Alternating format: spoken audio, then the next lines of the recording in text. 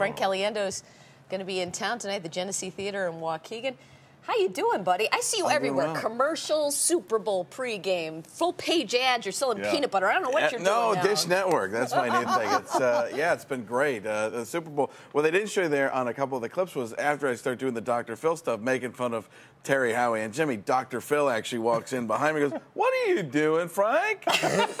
Don't you realize that people who can't be themselves have a bigger problem?" It's that.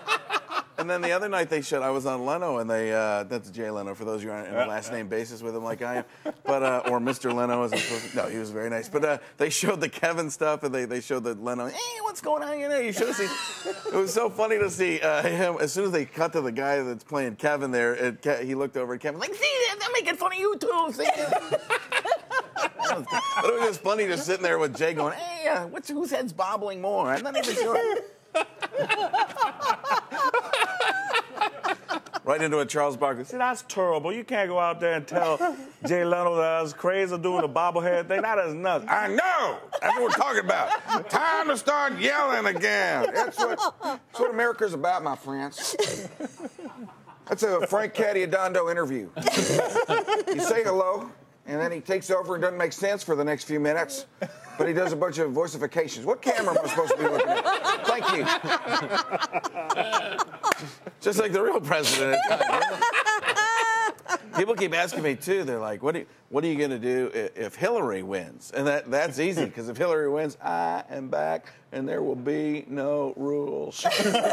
First lady, yes please. Second lady, why not? Third lady, keep them coming. Hey, can you imagine the stories? They were unable to find the first man today. Look for the disco ball. I am here. I don't get it. See, that was crazy. I ain't gonna see because he was. I'm in a, I don't even know. I mean, it's- You're gonna cry. I'm in like some weird time warp. He gets in this zone and all this stuff just keeps flying. The Robin Williams theory of comedy, my friend. You don't have to have jokes. Sometimes you just switch the voices. Here we are. Okay.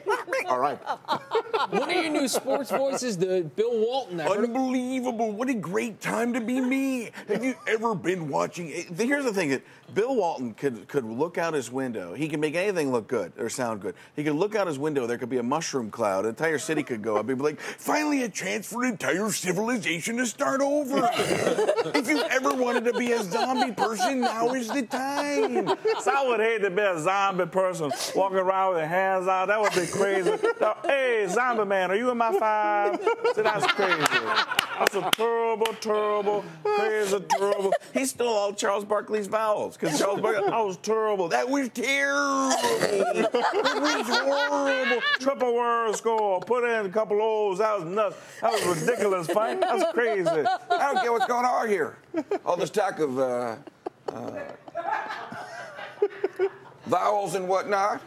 Who cares? it's a. It's a.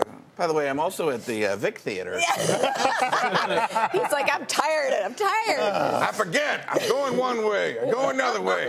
Don't know where I am. Been there, done that. Can't take Frank it. Caliendo, thank you, Frank. Good to see you again. Hey, thanks, guys. All right, stay with us. We'll be Too bad you're not making any money these days. Yeah, you gotta get out there and do a few things. Here's the guy that doesn't mind. Oh, hey. I tell you.